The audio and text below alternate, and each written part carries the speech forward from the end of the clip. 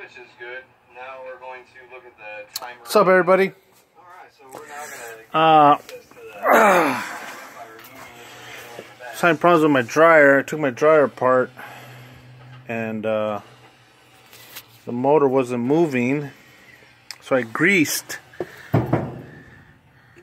In here, I use this grease, That panel removed, we have access Lith Ease, and then in here,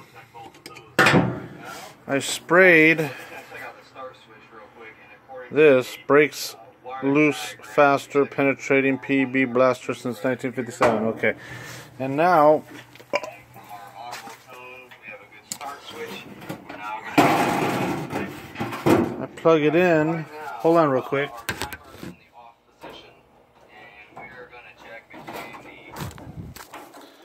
I plug it in, and it was just frozen. I got it working, babe. I did it, babe.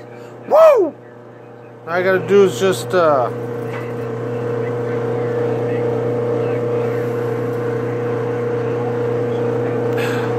hold on.